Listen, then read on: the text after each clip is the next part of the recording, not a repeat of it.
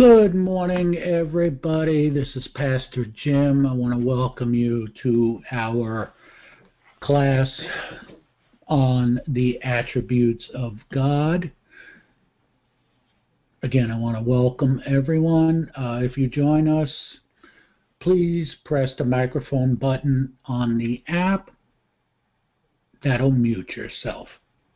And if you have any questions, you can type them in the uh, comments, and also you can email me at pastorjim.tcorc at gmail.com.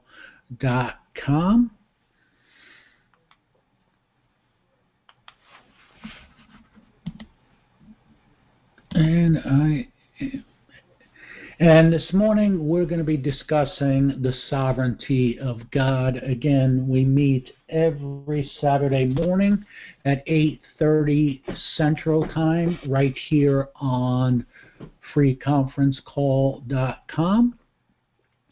Uh, the classes will also be posted on Facebook and the church's YouTube channel. And I'd like to open us up in prayer.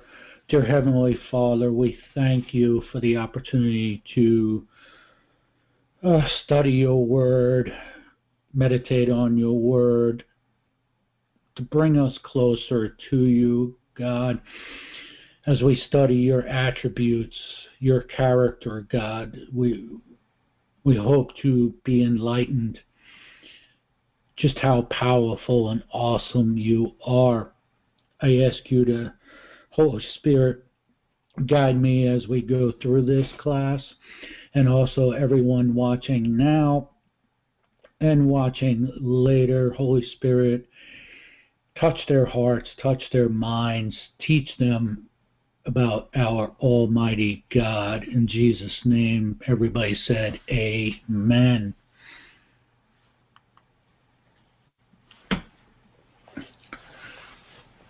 The sovereignty of God. He rules over all things with absolute control.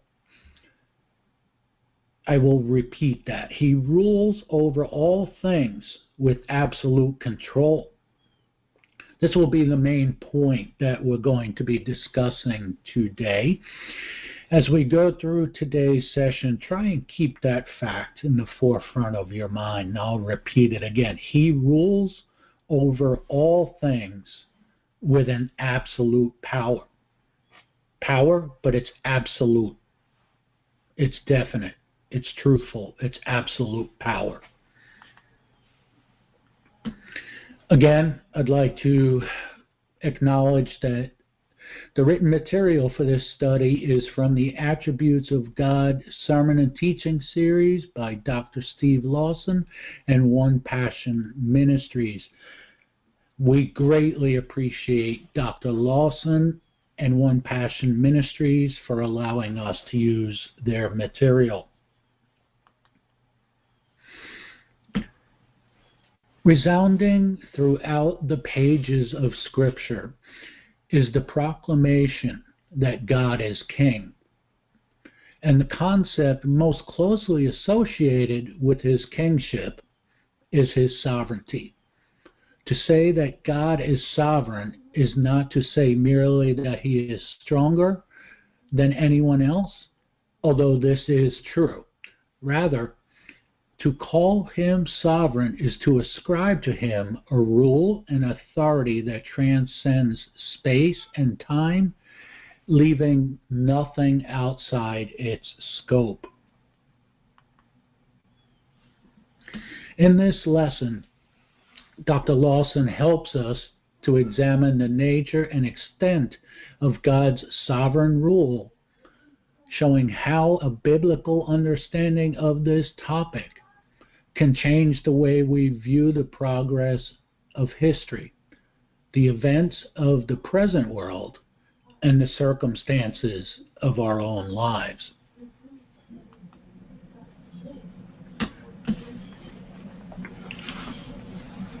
What is sovereignty? Sovereignty is a, a word that you really don't hear much today. I mean, think about it. In your day to day life, you hear the word sovereignty? So we need to ask ourselves this simple question What is sovereignty? What does it mean?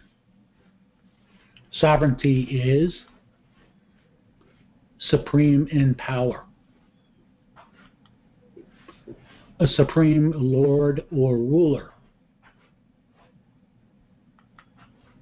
superior to all others, chief, possessing supreme dominion. A supreme magistrate, a king, royalty, one who possesses the highest authority without control. So you look at all those statements, and who does that best describe? God Almighty. God is not passive. God rules and God reigns. That's another statement I would want everyone, including myself, to repeat over and over again. God rules and God reigns. The sovereignty of God is the foundational truth of all Christian theology that God is and the God who is is the God who reigns. He actively reigns and presides over the entirety of his created order. This is the immovable mountain of God's supreme authority and his right to exercise his sovereignty. The sovereignty of God is his absolute active and continual reign over the heavens and earth. It is his undisputed right to govern all that he has created as God by the free exercise of his supreme right rules over all with unhindered, unrivaled majesty. It is the cornerstone of all divine truth. And again, I'll repeat that last sentence. This is so true. It is the cornerstone of all divine truth.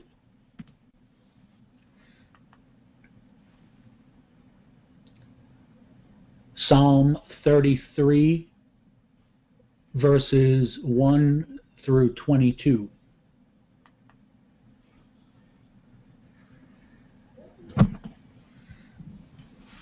Shout for joy in the Lord, O you righteous. Praise befits the upright. Give thanks to the Lord with the lyre. Make melody to him with the harp of ten strings. Sing to him a new song. Play skillfully on the strings with loud shouts. For the word of the Lord is upright, and all his work is done in faithfulness. He loves righteousness and justice. The earth is full of the steadfast love of the Lord. By the word of the Lord the heavens were made, and by the breath of his mouth all their host. He gathers the waters of the sea as a heap, he puts the deeps in storehouses. Let all the earth fear the Lord. Let all the inhabitants of the world stand in awe of him. For he spoke, and it came to be. He commanded, and it stood firm. Amen. Amen. The Lord brings the counsel of the nations to nothing. He frustrates the plans of the peoples. The counsel of the Lord stands forever, the plans of his heart to all generations. Blessed is the nation whose God is the Lord, the people whom he has chosen as his heritage. The Lord looks down from heaven. He sees all the children of man. From where he sits enthroned, he looks out on all the inhabitants of the earth. He who fashions the hearts of them all and observes all their deeds. The king is not saved by his great army. A warrior is not delivered by his great strength. The war horse is a false hope for salvation, and by its great might it cannot rescue. Behold, the eye of the Lord is on those who fear him, on those who hope in his steadfast love, that he may deliver their soul from death and keep them alive in famine. Our soul waits for the Lord. He is our help and our shield, for our heart is glad in him because we trust in his holy name. Let your steadfast love, O Lord, be upon us, even as we hope in you. Amen, amen, and amen. Psalm 93, verses 1 through 5.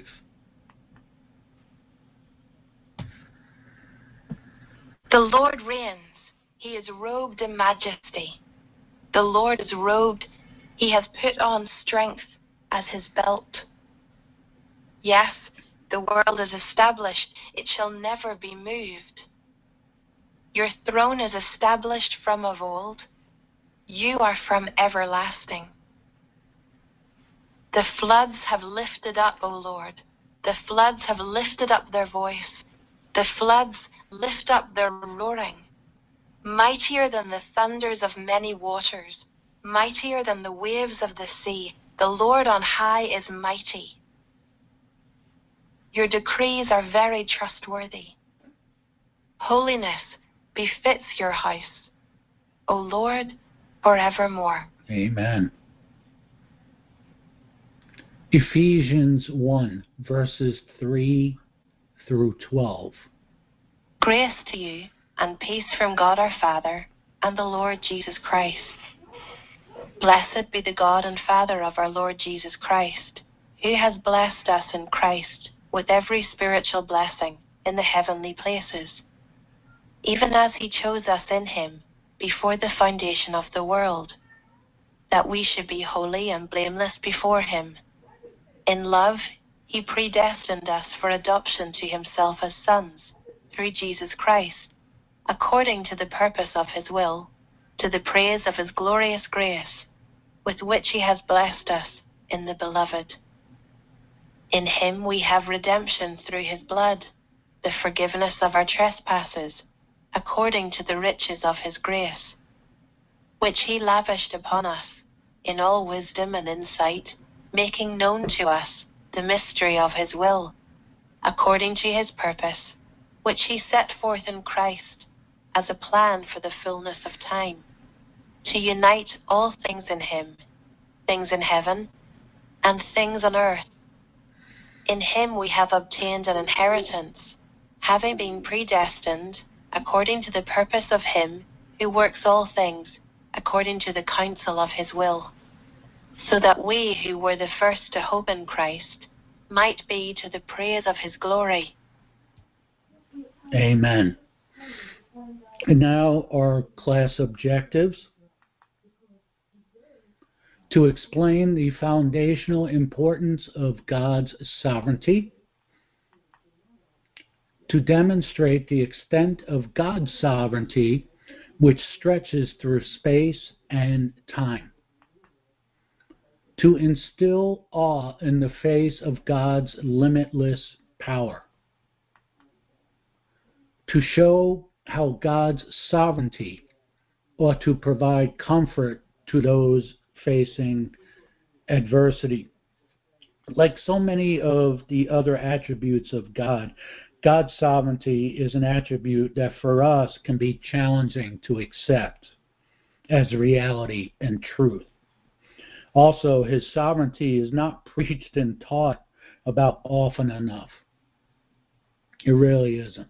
When was the last time you heard someone preach about God's sovereignty, that He rules and He reigns? And just like we mentioned earlier, God's sovereignty is the foundational truth of all Christian theology. Not just some of Christian theology, but all of Christian theology. There is not a square inch in the whole domain of our human existence over which Christ, who is sovereign over all, does not cry, Mine. Awesome quote from Abraham Kuyper. God's sovereignty has ever appeared to me a great part of his glory. It has often been my delight to approach God and adore him as a sovereign God. Jonathan Edwards. I want to repeat that one again. God's sovereignty has ever appeared to me a great part of his glory. It has, it has often been my delight to approach God and adore him as a sovereign God. Again, from Jonathan Edwards. Some key points for today the God who reigns. God's sovereignty refers to his right to rule, govern, and preside over all things. As we saw in the definition of sovereignty, God is the one, or God is one who is sovereign. He is supreme in rank, power, and authority. The scriptures repeatedly attest to God's matchless rule, especially in the enthronement psalms, which resound with the theme that the Lord reigns, like in Psalms 96:10, 97:1, and 99:1. A simple way to put it God is our creator. It's his rules. He's the boss. That's it. He rules, he reigns.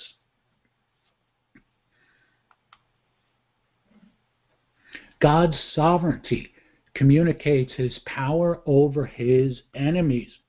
Too many Christians live as if the devil is actually sovereign, fearing the effects of his power and his malice in their lives.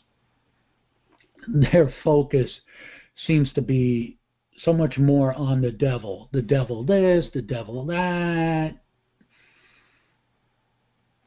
the devil this. We, we must remember, even though Satan's power is greater than ours, it is nothing, nothing compared to the power of our sovereign Lord. Again, our sovereign rule, our sovereign Lord is infinitely more powerful than the devil.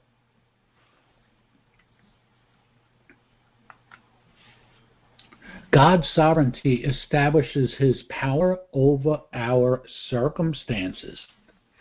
Our future does not rest in the hands of human beings. Our destiny does not depend upon blind chance. And I'm going to repeat those. Our future does not rest in the hands of human beings. Our destiny does not depend upon blind chance. Rather, God is actively involved in our lives, directing them according to his holy purposes. Again, just like many of God's attributes, these facts are very difficult for our flesh and our human egos to accept. But as we grow in our relationship with, with God, we, we gradually let go of that.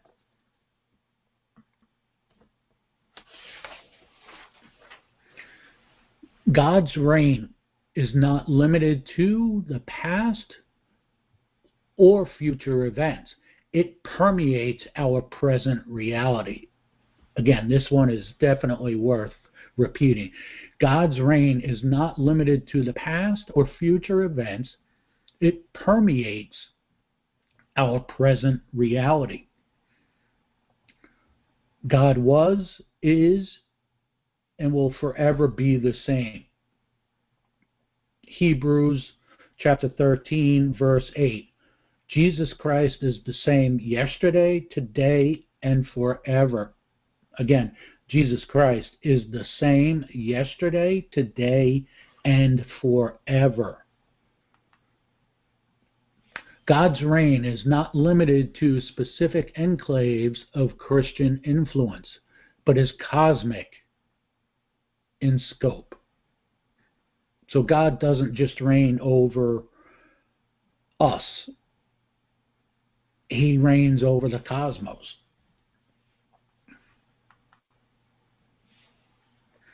God's eternal purposes God's sovereign rule extends back to eternity. All you have to do is look at Genesis 1 1 in the beginning.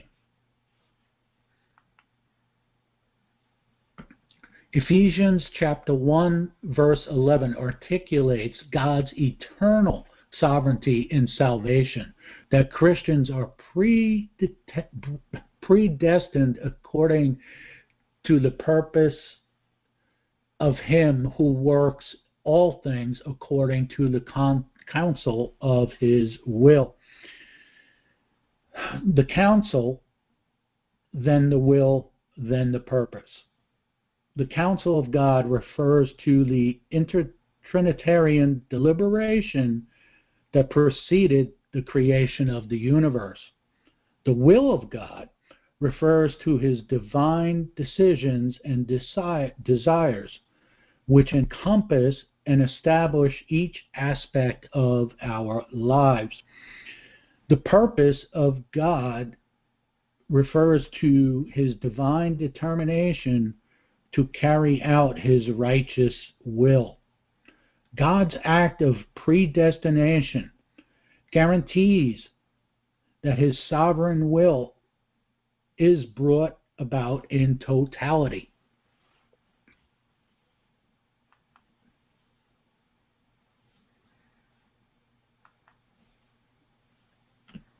areas of divine sovereignty. God's sovereignty governs creation. Everything that exists has God as its source. This goes back to week two when we covered the self existence and aseity of God. All things belong to God and exist for His glory, including us. Plants, creatures, and the forces of nature are all under God's complete control. Psalm chapter 33, verses 6 through 9 emphasize that. God's sovereignty governs history and providence. Rather than simply create things and set them in motion, God orders and directs human affairs. Psalm 33, verses 10 and 11. In all circumstances, God is at work for the glory of his name and the good of his people. Romans chapter 8, verse 28.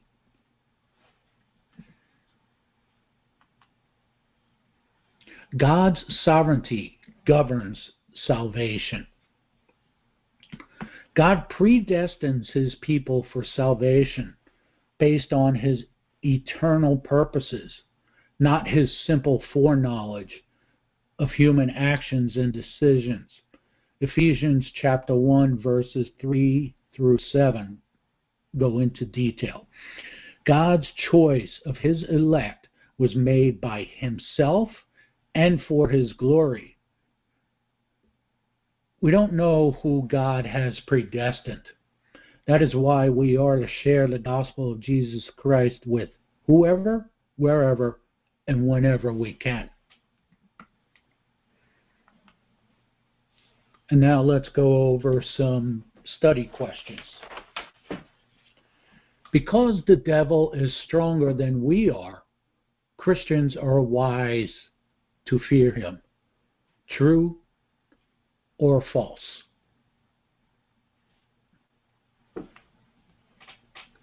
And the answer is false. We covered that God is infinitely stronger than the devil. Yes, the devil is stronger than us, but we lean on God.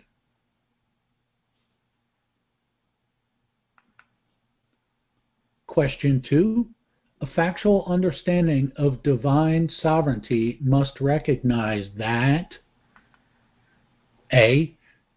God in his sovereignty ordained that Satan would rebel against him.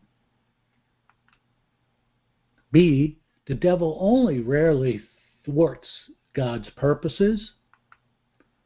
C. God will become fully sovereign once he defeats Satan. Or D. God's power is vastly superior to Satan's power.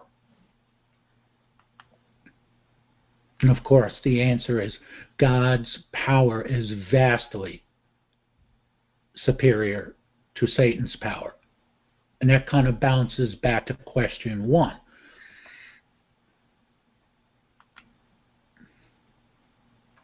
Now, this is a really difficult question.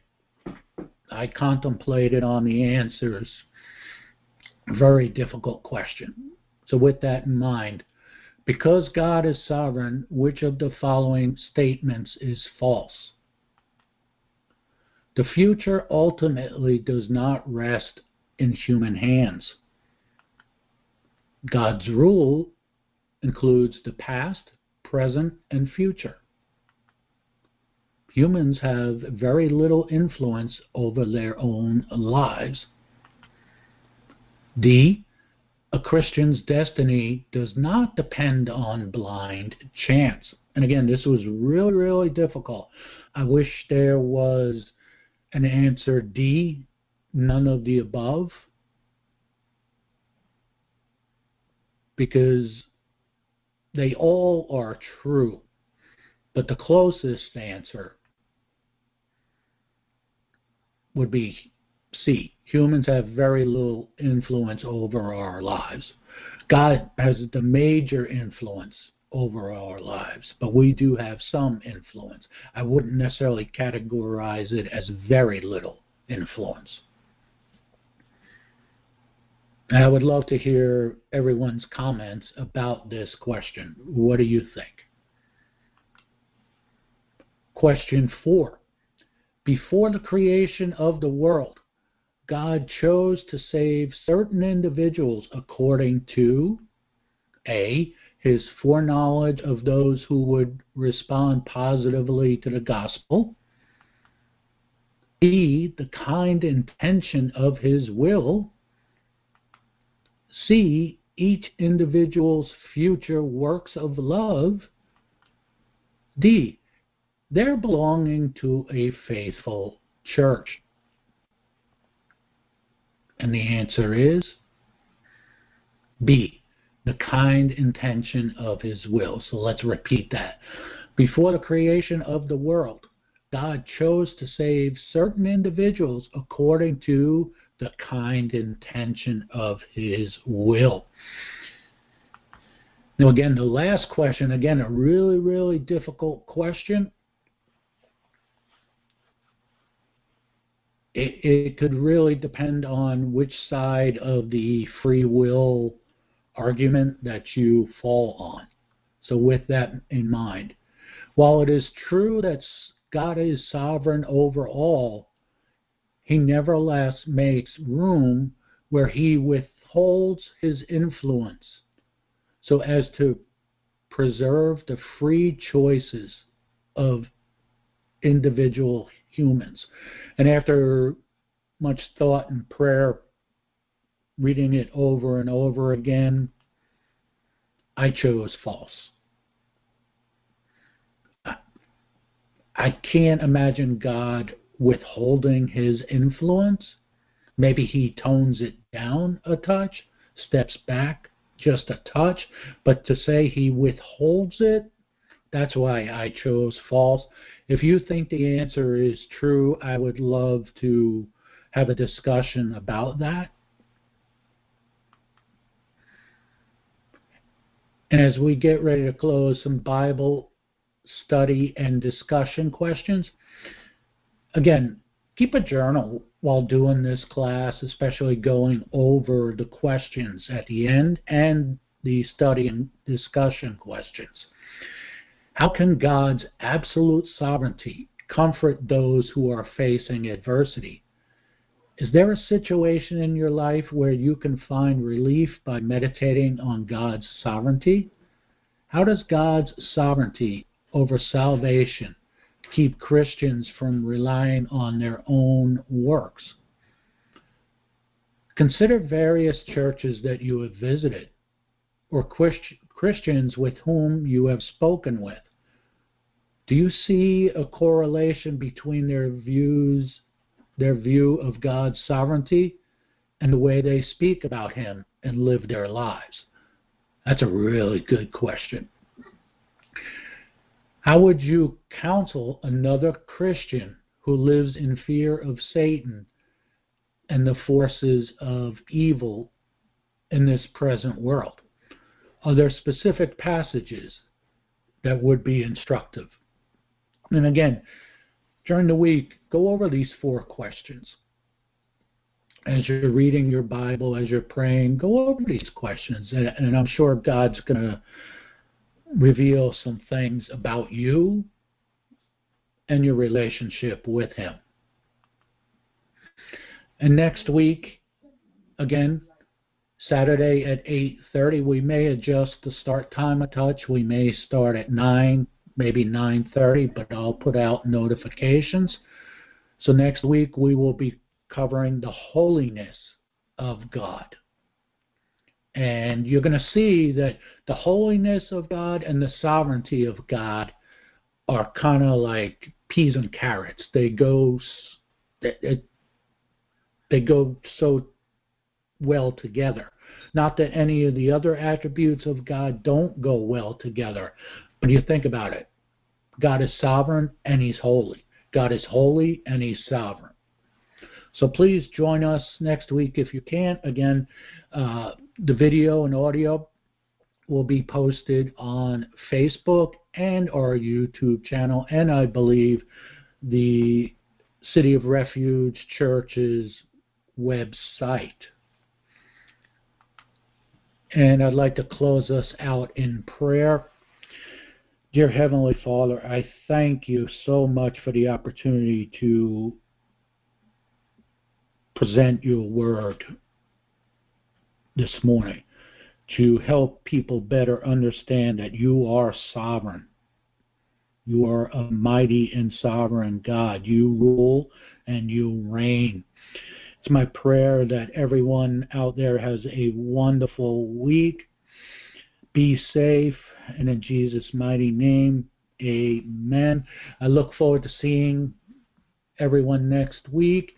And again, if you have any questions or comments, you need some prayer, reach out to me. You can reach out to me on social media or my email, pastorjim.tcorc at gmail.com com. And I wish everybody a wonderful rest of your weekend. God bless and be safe.